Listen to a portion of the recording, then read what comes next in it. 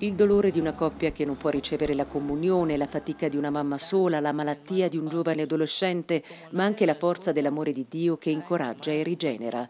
Le testimonianze di quattro famiglie hanno inaugurato l'incontro con Papa Francesco nello stadio Victor Manuel Reina di Tuxtla Gutierrez.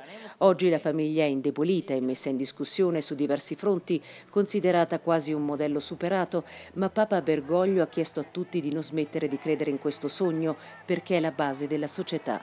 Preferisco una famiglia che ogni giorno cerca di coniugare l'amore, ha detto, a una società malata per la chiusura e la paura di amare. Preferisco una famiglia che una volta dopo l'altra cerca di ricominciare, a una società narcisistica e ossessionata dal lusso e dalle comodità. Preferisco una famiglia con la faccia stanca per i sacrifici, ai volti imbellettati che non sanno di tenerezza e compassione.